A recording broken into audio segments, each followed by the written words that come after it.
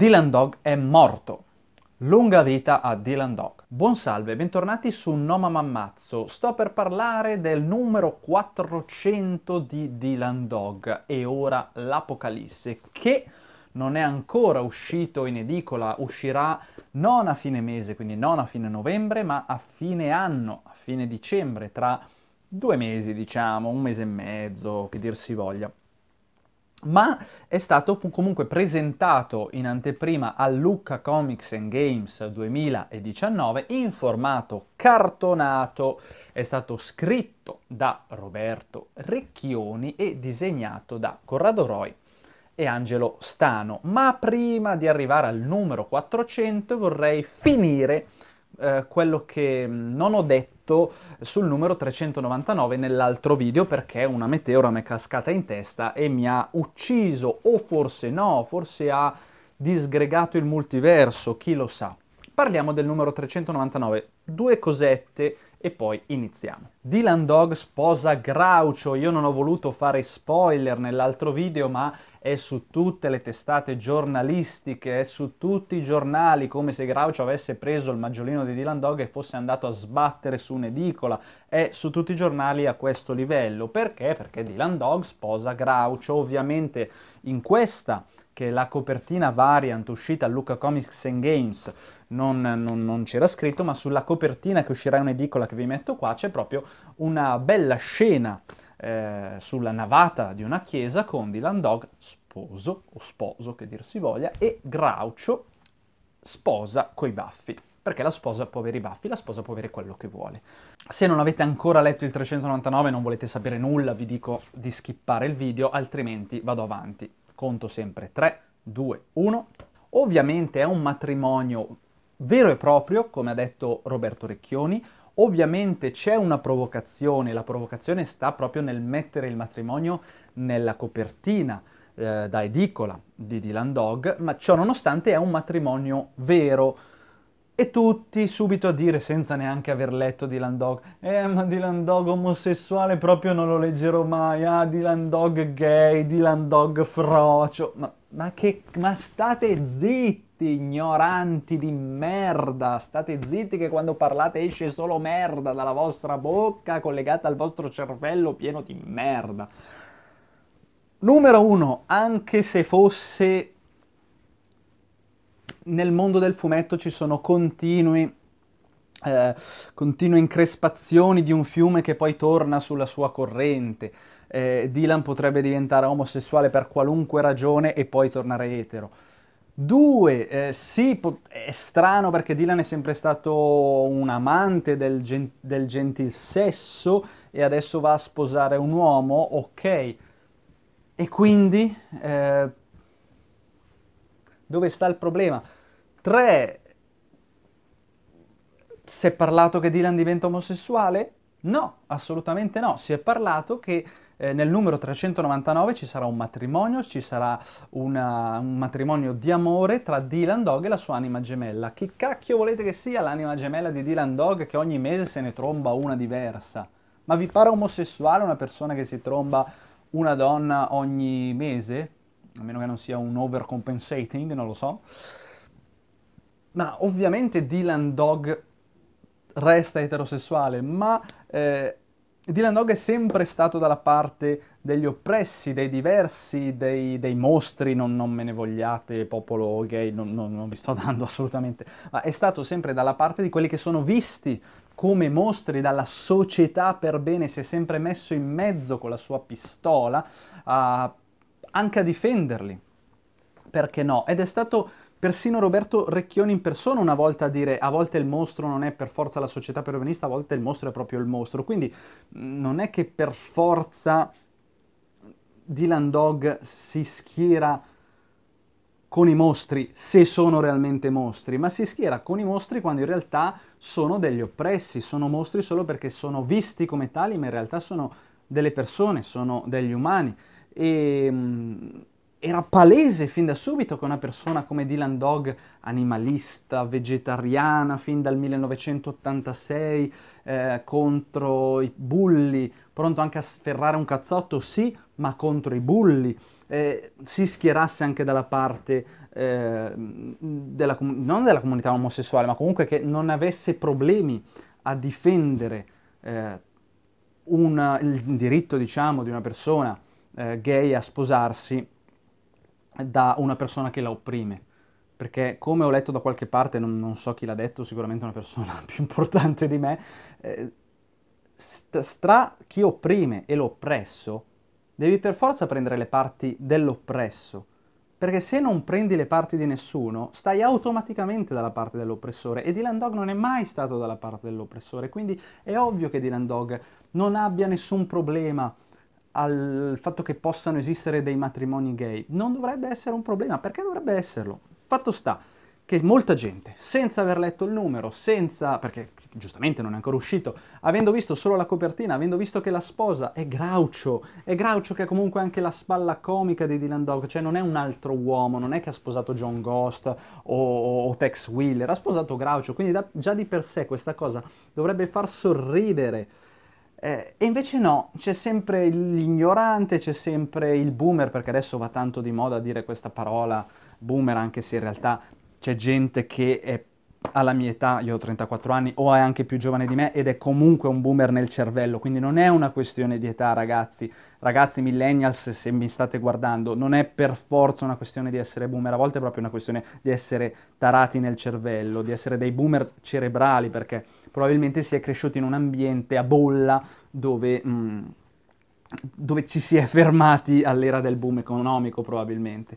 E e queste persone hanno criticato subito questa cosa. Ah, Nati andare a sposare un uomo, allora è omosessuale, non è, non è, giusto perché il matrimonio è fatto da, da, da, dall'uomo e dalla donna, non dal genitore 1, dal genitore 2. Io sono Giorgio, sono una donna, sono cristiana, sono genitore 1, sono genitore 2. Salutiamo Meloni Chan.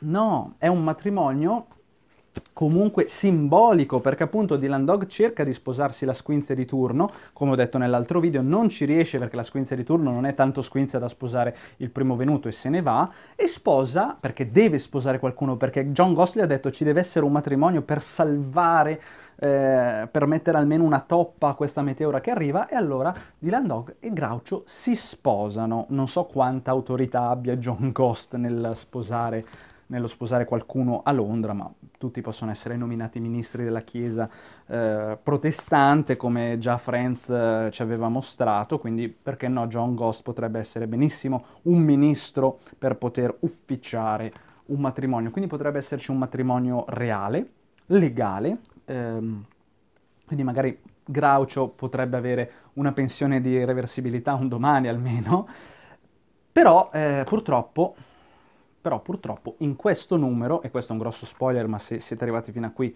vuol dire che siete pronti, purtroppo in questo numero, come anche nel numero precedente e nel numero prossimo, Groucho muore. Groucho muore subito dopo aver sposato Dylan. Lunga vita a Groucho, quindi non lunga vita a Dylan Dog, lunga vita a Groucho. Passiamo al numero 400. Allora, io questo video l'avevo già fatto, ma non l'ho pubblicato perché a una prima lettura, sono sincero, il numero 400 mi ha un po' spiazzato, non, quindi non mi è piaciuto, mm, avendomi spiazzato, ma forse perché mi ero fatto io un film mentale di come il numero 400 pote, poteva essere, potesse parlare ancora della meteora eh, e allo stesso tempo poteva mh, mm, far partire un nuovo ciclo di Dylan Dog. Invece non c'è nulla di tutto questo. La meteora si conclude con la collisione nel 399 e un nuovo ciclo di Dylan Dog comincerà con il 401. E quindi di cosa si parla nel 400? Il 400 è un numero commemorativo. Si sancisce un punto, si sancisce un giro di boa eh, dal quale eh, Tiziano Sclavi pone il suo personaggio, la sua creatura, il suo figlioccio che è Dylan Dog, nelle mani dei posteri, nella figura in questo caso di Roberto Recchioni che è l'attuale curatore di Dylan Dog, ma eh, diciamo che Dog, eh, scusate, Tiziano Sclavi si toglie, toglie questa sua figura enorme, ingombrante di autore di Dylan Dog che ehm, molti eh, fan, molti, molti Dylan Dog fag eh, hanno cristallizzato nel tempo, eh, idolatrando i primi cento numeri, come tutto ciò che fosse fuori dalle mani di Tiziano Sclavi fosse merda, e facendo in modo che Dylan Dog appunto non potesse evolversi davvero come dovrebbe fare nel 2019, perché si rischia sempre di eh, fare scontento qualcuno. E quindi cosa succede? Che quindi Dylan Dog è sempre, ultimamente, ha sempre cercato di tenere i piedi in due scarpe, cioè nella scarpa eh, dei fedelissimi, dei primi cento di Dylan Dog, di Tiziano Sclavi, perché se no è tutto merda se non è scritto come quei numeri là, che sono stati fatti tra gli anni 80 e gli anni 90, e un altro piede nella scarpa del cerchiamo comunque di, di, di, essere provocatori, perché Dylan Dog è sempre stato al passo coi tempi, è sempre stato sovversivo, è sempre stato provocatorio nel suo pacifismo. E questa cosa però non è possibile, non, non si può tenere un piede negli anni 80 e un piede nel, nel, 2019, o meglio si potrebbe se si avesse la testa di Dylan Dog, ma dal momento che chi legge non ha la testa di Dylan Dog non riesce a, a vedere questa cosa e quindi cosa si è deciso di fare? Di dare un taglio netto, anche in senso letterale, ma poi ci arriviamo, a tutto quello che è stato Dylan Dog eh, finora, per poi iniziare un nuovo ciclo, un nuovo ciclo che sarà molto più nelle mani di Roberto Recchioni rispetto ad adesso. Roberto Recchioni autore, eh, non curatore, Roberto Recchioni sceneggiatore. E questo lo vedremo perché ci sarà una miniserie di sei numeri ehm, dal 401 al 406, eh, scritta da Roberto Recchioni, eh, che a detta sua si farà odiare più del solito per questa miniserie, perché appunto presumo servirà appunto a rimescolare le carte in tavola per dare un nuovo ciclo a, al nuovo Dylan Dog. Però prima di parlare del nuovo Dylan Dog che uscirà dal 401, che non ho ancora letto, parliamo di quello che ho letto. Questo numero inizialmente non... Non l'avevo apprezzato, non l'avevo capito, non lo so, perché appunto mi aspettavo qualcos'altro, ma dal momento che quel qualcos'altro che mi aspettavo mi è scivolato via, l'ho riletto, l'ho riletto per caso, eh, ce l'avevo sul divano, ho detto ma sì, rileggiamolo un attimo che ci devo fare, che devo pubblicare il video che avevo già fatto. E quando l'ho riletto ho detto, cavoli, meno male che non l'ho pubblicato il video perché eh, c'è tanto da dire che non avevo detto. Innanzitutto il, il, numero è pieno di citazioni, anche se non pieno come queste citazioni, magari se avanza un po' di tempo parliamo anche delle citazioni del 399 è pieno comunque di sottili citazioni a film, a altre opere, per esempio parte con eh, This is the End, la canzone che si sente quasi sempre nei film di guerra, che si sente in Apocalypse Now e infatti il titolo è E ora l'Apocalisse, Apocalypse Now, quindi arrivateci. Quindi si parte con la canzone di Apocalypse Now, eh, il titolo è E ora l'Apocalisse, si vede semplicemente nella prima tavola che la meteora impatta proprio su Londra, eh, però non, non, distruggendo il mondo. Perché non distruggendo il mondo? Perché il matrimonio di Dylan Dog in qualche modo non ha, ha permesso che la realtà si salvasse, che non venisse tutto distrutto, ma che, ma che la, la realtà, le realtà si salvassero. Mm, però comunque c'è stato qualcosa che è andato storto, perché se no non sarebbe Dylan Dog, e quel qualcosa che è, che è andato storto è che Dylan Dog non si ricorda chi è, non si ricorda come si chiama, Londra è comunque distrutta e la realtà è spaccata in tante piccole realtà. Quindi questo marinaio senza nome, che è Dylan Dog, eh, si mette in viaggio su un, un galeone che però, nonostante sia chiamato il galeone senza nome, ricorda molto l'Amerigo Vespucci, ve la faccio vedere magari in un'altra scena, ecco. Che allora io da amante dell'Amerigo Vespucci ne sono stato molto felice che abbia questo aspetto, però appunto non, non è il solito galeone di Dylan Dog, ma, ma forse io parlo perché sto leggendo, il, ho letto il numero in bianco e nero, però essendo un numero un centenario di Dylan Dog, come da tradizione, quando uscirà a fine anno in edicola sarà a colori, vi ricordo, quindi prendetelo, se questo l'avete preso, eh, se non, se non, l'avete ancora preso compratelo perché è bellissimo in bianco e nero ragazzi, è fantastico, disegnato da Angelo Stano, ma eh, poi compratelo anche in edicola perché ehm, ho visto qualche anteprima a colori ed è an- bello anche a colori. Di soli- solitamente quello che è fatto per il bianco e nero non si apprezza eh, quando è colorato successivamente e viceversa, come una cosa fatta a colori non si apprezza in bianco e nero. Qua, qua probabilmente l'hanno studiata proprio perché fosse sia in bianco e nero che a colori, infatti è bello in tutte le salse. Appunto questo Dylan Dog si mette a navigare con il suo mozzo che è Groucho, che nonostante fosse morto nel 399 la meteora che ha spaccato le realtà ha permesso che comunque un Groucho esistesse, che è questo mozzo, se che anche lui non si ricorda nulla, quindi la speranza è che magari Groucho prima o poi tornerà, ma non credo subito, poi ci arriviamo sul perché. Eh, navigano, navigano, fanno vedere che hanno diverse avventure, ma anche se le avventure che hanno in queste bellissime tavole, in queste bellissime splash page, non sono il fulcro del, del numero. Il fulcro, il fulcro, del numero è commemorare Dylan Dog, commemorare le, sì le sue avventure, ma eh, commemorare anche il fatto che è, è un'opera di Tiziano Sclavi. Infatti lui nel suo navigare prima o poi arriverà a un'isola dove incontrerà Tiziano Sclavi. Piccolo, ehm, piccola parentesi, in questo numero si vede, eh, si esce diciamo dalla, dalla, storia, si esce dalla quarta parete e vediamo il fumetto mentre è disegnato da Stano, dall'alter ego eh, cartaceo di Angelo Stano, alter ego cartaceo che abbiamo già visto nel numero Morgana, il numero 25, lo so a memoria ma ho voluto controllare, 25 di, di Landog dove a un certo punto, a un certo punto ecco, c'è il disegnatore, quindi si esce dalla narrazione e il disegnatore, che è Stano in realtà, eh, si, si, si, capisce come Morgana sia il frutto della mente di questo disegnatore. Questo disegnatore è tornato in questo numero e guarda caso a un certo punto si rompe le palle di disegnare questa avventura e disegna una donna nuda, una donna nuda grande come un'isola, tant'è che Dylan e Groucho ci approdano su quest'isola. Questa donna nuda, enorme,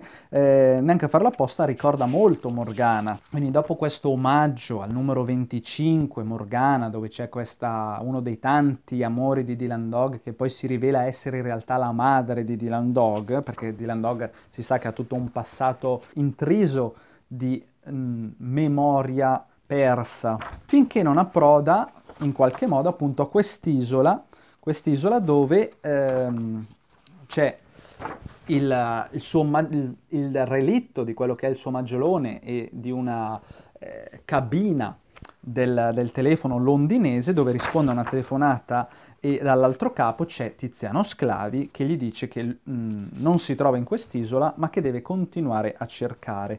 Dylan Dog continua eh, imperterrito a, a, navigare con il suo assistente, incontra vari mostri che possono essere visti come i 400 numeri che hanno portato Dylan Dog ad avere tutte queste avventure. Infatti in questo navigare ci sono mostri, ci sono donne, perché appunto il disegnatore vuole disegnare le donne, e che racchiudono un po' tutto il percorso narrativo di Dylan Dog, no?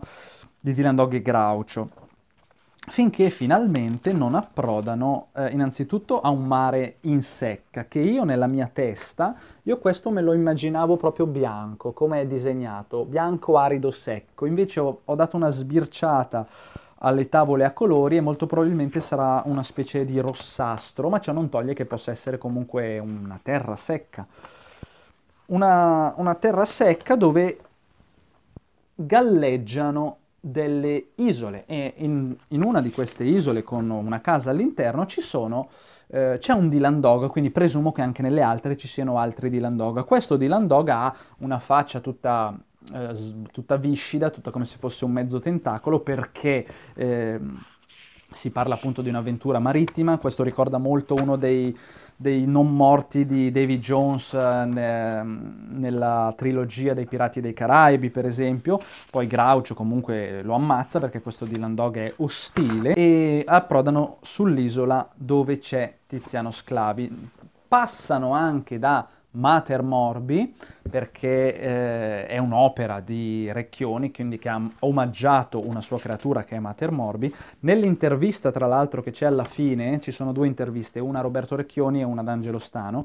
Eh, Roberto Recchioni dice come mh, mm, avrebbe voluto che il numero 400 concludesse la trilogia eh, di Mater Morbi, Mater Dolorosa, e qua ci doveva essere un'altra Mater, probabilmente Mater Misteriosa, ma... Mh, mm, ha preferito dare un, uno spazio minimo alla sua creatura Mater Morbi e, eh, e, dedicarsi di più alla commemorazione di Dylan Dog. Ma nonostante il cameo di Mater Morbi sia minimo, è molto bello quello che dice. Dice, conosco la persona che stai cercando, Mater Morbi conosce Tiziano Sclavi, quindi la, mm, la, personificazione della sofferenza conosce molto bene Tiziano Sclavi. E Tiziano Sclavi e la sofferenza hanno avuto un figlio, hanno dato alla luce un figlio. Dylan Dog è figlio di Tiziano Sclavi e della sofferenza che Tiziano Sclavi ha incontrato nella sua vita, cioè la sofferenza di un artista crea il suo prodotto, la sofferenza, diciamo, di Tiziano Sclavi ha creato la sua arte più famosa, perché non ha fatto solo Dylan Dog, che è Dylan Dog. E mi è piaciuta molto questa cosa, non so se appunto è frutto di totale di Roberto Recchioni o se Roberto Recchioni ha detto scusa posso dire questa cosa, eh, però mi è piaciuto molto, ve lo dico magari Ve lo leggo paro, passo per passo. Lo conosco bene, siamo stati amanti per tanto tempo. Io la malattia, lui il malato.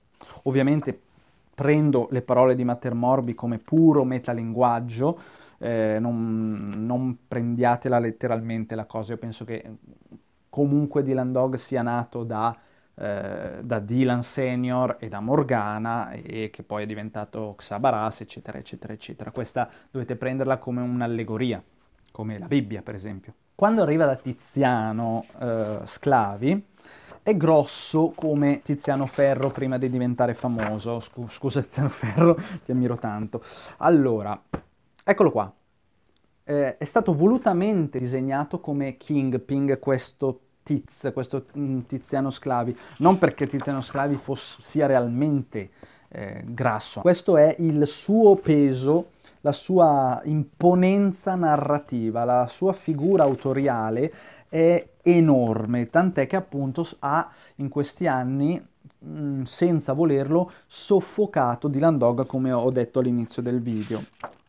Dice Dylan Dog, eh, Dylan Dog, tu, tu non, sei un, non, sei nessuno, tu sei un garzone, no? E io invece ho visto l'orrore, qua, qua c'è il ritorno a Apocalypse Now, infatti eh, c'è una giungla, c'è una giungla, lui fa un discorso, eh, oltre a citare anche eh, Blade Runner, cita comunque Apocalypse Now, Dylan stesso che è stato legato da, da Tiziano, dal Tiz, è, è qua legato a torso nudo che dice l'orrore, l'orrore, che era la battuta famosa, credo, di Marlon Brando in, in Apocalypse Now. E poi succede davvero l'orrore, l'orrore di un lettore, perché è tre numeri che succede la stessa cosa e uno potrebbe iniziare a pensare che questa cosa che succede eh, magari succede davvero, eh, ovvero il nostro caro Tiziano Sclavi dice questo era il mio ultimo colpo di scena, ora tocca a te. In, parlando di Landogma sta parlando Roberto Recchioni in realtà. L'ultimo colpo di scena di Tiziano Sclavi è stato decapitare Groucho Marx.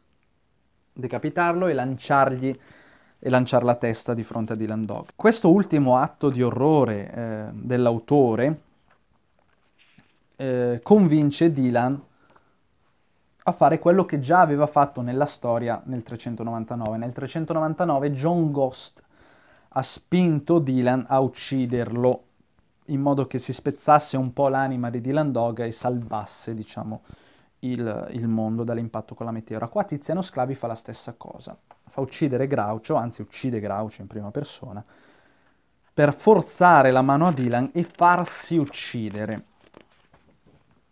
C'è anche una, un, un piccolo complesso di Edipo, ma si sa che Dylan Dog ha i complessi di Edipo, dato che da sempre odia suo padre, da sempre ama sua madre anche in modo morboso, e qui di nuovo ammazza suo padre, il suo padre eh, cartaceo, il suo padre letterario, ammazza, squarta, come solo in un, in un fumetto horror può succedere, ammazza eh, suo padre, gli taglia la testa come lui aveva tagliato la testa a Groucho e dice di nuovo questa è la fine come lo dice all'inizio. Dice questa è la fine poi in realtà dice no, in realtà non è la fine, questo è l'inizio. Perché? Perché partirà un nuovo ciclo, partirà un nuovo Dylan Dog. L'uccisione da parte di, ehm, di Dylan Dog, la, l'uccisione di Tiziano Sclavi da parte di Dylan Dog pone eh, la conclusione di questa terra frammentata, di questo multiverso frammentato, e crea un nuovo universo. Lo si capisce dal fatto che lui lancia la testa in aria di Tiziano Sclavi che esplode come in un Big Bang, generando milioni di stelle. Da questo milione di stelle ripartono le storie. Infatti, vediamo eh, subito di nuovo Xabaras, vediamo Morgana, vediamo Dylan Dog, vediamo il Galeone che ci ha condotto fino a qui per tutto il numero. Finiscono i disegni di Stano, ricominciano i disegni di Corrado Roy e si vede che si ritorna a Londra, presumo, eh, io presumo Londra potrebbe essere qualunque altro posto, si torna a Londra, a Craven Road magari, o perché no, vediamo solo una porta, si vede che qualcuno sta mettendo eh, l'insegna Dylan Dog, indagatore dell'incubo, su questa porta, è Dylan Dog ragazzi, non è Francesco della Morte, ok? Perché vi dico questo? Perché accanto a Dylan Dog, un Dylan Dog molto barbuto, come era arrivato barbuto a fine numero perché aveva navigato per, per mesi e mesi, forse anni, questo Dylan Dog barbuto non ha a fianco il suo solito assistente, non ha a fianco Groucho, ha a fianco Gnaghi. Gnaghi è l'assistente di Francesco della Morte nel film Della Morte dell'Amore. Nonostante la maggior parte di voi pensa che di, della morte dell'amore sia il vero film di Dylan Dog, anche se non si chiama Dylan Dog, in realtà della morte dell'amore parla, è la storia eh, cinematografica di un romanzo che Tiziano Sclavi aveva scritto, credo, nell'82, in cui appunto è protagonista Francesco della Morte, eh, suo, che è un guardiano di un cimitero dove si risvegliano i ritornanti, appunto, e lui li uccide il suo assistente non è Groucho, ma è Gnaghi. Ora, ciò nonostante, nonostante Francesco della Morte sia un proto Dylan Dog, non è assolutamente Dylan Dog, perché a un certo punto del film, quantomeno, Francesco della Morte non distingue più la morte dalla non morte.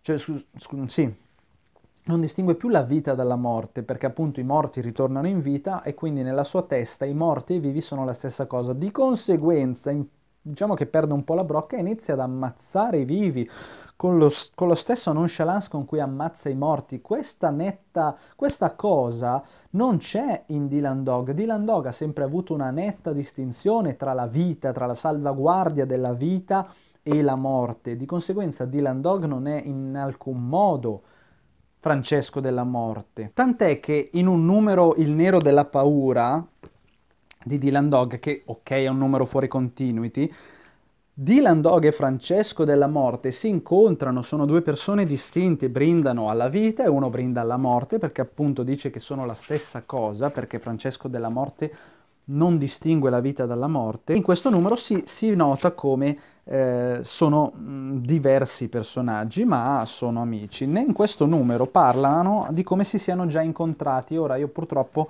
eh, mi piacerebbe sapere se si sono incontrati in un numero in continuity, ma finora non, non l'ho trovato. Se per caso ne sapete di più, scrivetemelo.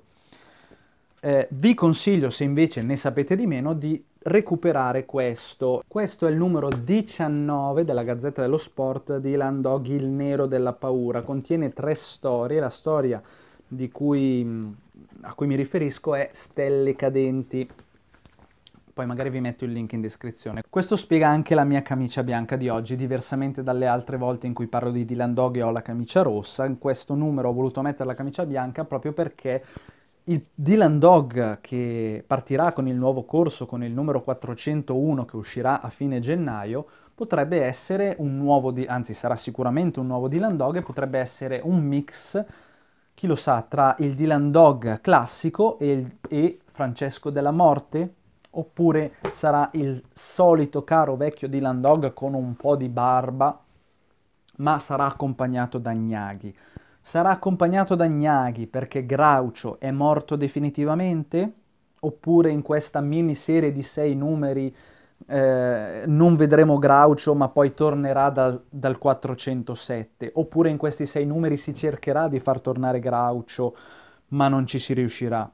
Voi cosa ne pensate? Io credo che Groucho è un personaggio troppo importante per eh, smettere di utilizzarlo perché sennò davvero i lettori potrebbero andare eh, in via Bonarroti a Milano alla sede della Bonelli coi forconi, però probabilmente di- diremo addio a Groucho per un po', per un po' di numeri, diremo, come, come diremo addio al classico Dylan Dog per un po' di numeri, se non per sempre, anche se secondo me Dylan Dog finché tiene quei due o tre capisaldi che, so- che formano la sua persona, fin tanto che difende il mostro, l'oppresso dagli oppressori, non si snaturerà mai. E Groucho, finché prenderà sempre tutto sul ridere, non si snaturerà mai. L'unica cosa che potremmo guadagnare da, da questa morte di Groucho e dal suo chissà futuro ritorno prima o poi è che magari scopriremo chi era davvero Groucho prima di impersonificare l'attore Groucho Marx. Questo sarebbe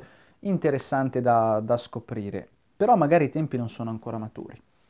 Se vi è piaciuto il video mettete un bel like eh, o mi piace, come che dir si voglia.